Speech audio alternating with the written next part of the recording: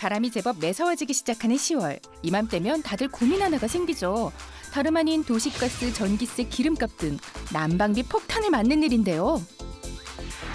통계청에 따르면 전년 대비 도시가스와 전기료가 11%나 상승했다고 합니다. 이에 대처 방안은 없을까요? 시공도 빨리 끝나서 너무 좋고 후끈후끈해서 되게 좋은 것 같아요. 당일 시공, 당일 사용이 가능하고 난방비도 줄여주는 경제적인 보일러가 있다? 친환경 소재로 인체에도 덜 해롭다는 보일러의 정체 지금 소개합니다. 경기도 가평군 텅 빈 상가가 반기는 이곳에 오늘의 주인공이 있습니다. 빈 건물을 걱정스러운 눈으로 바라보고 있는 그녀. 땅이 꺼져라 한숨까지 쉬는데 대체 뭘 이렇게 고민하는 걸까요? 안녕하세요. 안녕하세요. 네. 여기에서 뭐 하고 계세요? 여기를 공부방을 하려고 해요. 근데 이제 실내 인테리어나 뭐 다른 부분들은 이제 결정이 다 됐는데 곧 겨울이기도 하고 따뜻해야 되잖아요. 근데 이제 난방비도 이제 부담이 되는 건 사실이기도 하고 그래서 이걸 어떻게 하면은 좀 더 저렴하고 따뜻하게 이용할 수 있을지 지금 그걸 찾아보고 있어요. 이전에 학원으로 쓰였다는 이곳은 보일러 설치가 안 돼 있는데요.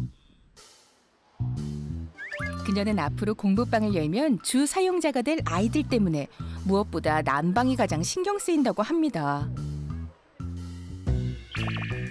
공부방 오픈이 채 한 달도 남지 않은 상황에서 해결책을 찾을 수 있을까요? 당일 시공, 당일 사용이 가능하다고 하는데 아, 이걸로 해볼까? 아 바로 가능하세요? 아 그러면 오늘 바로 시공을 해주시면 좋을 것 같아요. 잠시 후 안녕하세요. 난방신고 왔습니다. 안녕하세요. 네. 보일러 시공 베테랑 전문가 이상돈 씨가 찾아왔습니다. 보겠습니다. 과연 이곳엔 어떤 시공이 들어가야 할까요? 여긴 지금 콘크리트로 돼 있어서요. 만약에 보일러로 까시게 되면 시간하고 경비가 많이 들어가죠. 이곳 같은 경우에는 전기 온수 난방을 하시는 게 훨씬 효율적이세요. 전기 온수 난방? 그게 뭔가요?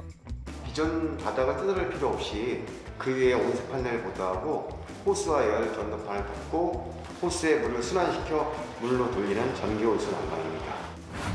기름 보일러는 동파 위험이 높고 가스 보일러는 도시가스가 공급되지 않는 곳에서 사용하기 어렵다는 단점이 있는데요. 전기 온수 난방은 온도를 현대화한 시스템으로 이러한 단점들을 보완했답니다.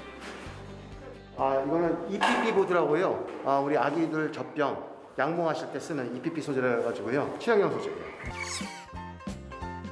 전기 온수 난방의 바닥재로 쓰인다는 EPP 소재의 보드. 장점은 무엇일까요?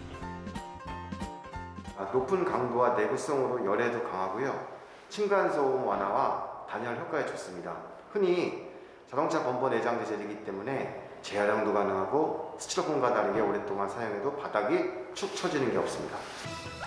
일반 스티로폼과는 어떤 차이가 있을까요? 100도씨의 끓는 물에 일반 스티로폼과 EPP 소재 보드를 넣고 약 10분 정도 관찰한 결과 일반 스티로폼은 일그러진 반면 EPP 소재는 형체를 그대로 유지하고 있는 것을 확인할 수 있습니다. 때문에 EPP 소재의 보드로 난방 시공을 하면 내구성이 좋아 바닥에 변형 없이 사용 가능하다는데요. 실제 EPP 소재를 활용한 온수 보일러와 온열 장치 등도 특허청의 인증까지 완료받은 상태. 덕분에 사용자들은 간편하게 시공받아 오랫동안 따뜻하게 보일러를 사용할 수 있습니다. 그렇다면 전기 온수 난방 보일러는 어떻게 설치되는지 살펴볼까요? 먼저 EPP 소재로 만든 특수 보드를 바닥에 촘촘하게 깔아줍니다.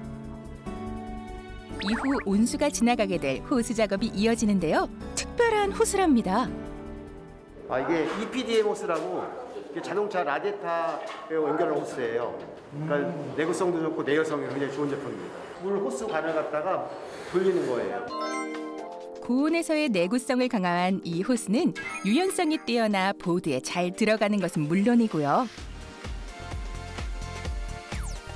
수명이 길기 때문에 한 번 시공으로 오랫동안 사용이 가능하다고 합니다.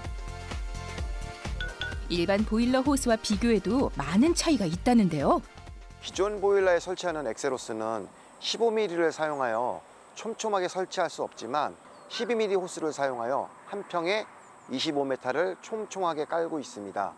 기존 보일러 100m 물을 사용하신다면 60 내지 70m의 물을 사용하여 물의 양을 줄여 난방비를 절감하는 원리입니다. 이제 양면 테이프를 부착한 뒤 바닥을 따뜻하게 데워줄 발열판을 덮어주면 초반 작업 끝!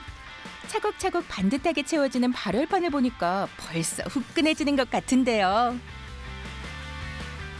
발열판 시공이 다 끝나면 발열판의 사이사이를 테이프로 촘촘하게 붙여줍니다. 이러한 작업도 하는 이유가 있는데요. 경우는 이게 나중에 수축이 하게 되면 움직이기 때문에 그런 경우 때문에 저희가 이거 은박 테이프를 쫙 칠해야지 이게 딱 고정이 돼요. 발열판 고정이 끝나면 마지막 작업만이 남았습니다. 바로 인테리어 효과까지 더해줄 바닥재 시공인데요. 어, 마감재는 장판과 강화마루, 돌마루 시공이 가능하시고요. 강마루의 경우 본드칠하기 때문에 열을 받게 되면 벌어짐 현상이 일어나서 저희 제품과는 맞지 않습니다. 이제 발열판 위에 사용자가 선택한 마감재를 올리면 끝! 보통 약 33제곱미터 기준 반나절 정도 소요된다니 셀프 시공도 가능하답니다. 보통 기존에 쓰던 보일러와 호환 가능하지만 이곳은 어떤 시공도 안 된 상태라 기기를 새로 달아야 한답니다. 전기 온수 보일러예요. 이 여섯 평까지를 커버할 수 있고요. 온수를 데워서 난방을 하는 전기 온수 보일러입니다. 드디어 보일러 기기 시공까지 완료! 이렇게 보일러를 시공했는데 보일러가 얼어버리면 안 되겠죠? 물하고 부동액하고 두 가지 섞은 겁니다. 아, 아, 동파 방지를 위해서요. 영하 15도가 20도 이상 떨어져도 큰 문제가 없습니다. 물과 부동액 혼합 액체를 채우면 바로 보일러 사용 가능. 한두 달에 한 번 종이컵으로 한두 컵을 보충해주면 된다니 간편하죠? 실제 보일러 열기를 느껴본 소감은 어떤가요? 어, 진짜로 후끈후끈한데요? 내구성까지 직접 확인해 보는데 어떠세요? 생각보다 많이 따뜻해요. 그래서 일단은 바다 아이들이 신발을 벗고도 돌아다닐 수 있을 것 같고 이게 시간이 조금 지나면서 공기까지 따뜻해진다고 하니까 이곳에서 곧 아이들의 꿈도 무럭무럭 자라나겠죠? 난방비에 대해 고민하는 이들이 늘면서 전기 온수 난방에 대한 관심도 높아지고 있는데요. 실제 사용 범위도 점점 늘고 있답니다. 겨울철 난방 밸브를 잠궈두면 동파가 되기 때문에 물 순환을 위해서 난방 밸브를 열어두고 실내 온도를 20대 이상으로 설정해 드리는 것을 권장해 드립니다. 전기 보일러의 경우 외출 기능을 누르시거나 부동액을 넣어 동파 방지를 하시는 것을 권장해 드립니다. 겨울철 난방비가 걱정이시라고요? 추워지기 전 보일러를 미리미리 점검까지 해서 난방비 걱정 줄여보시면 어떨까요?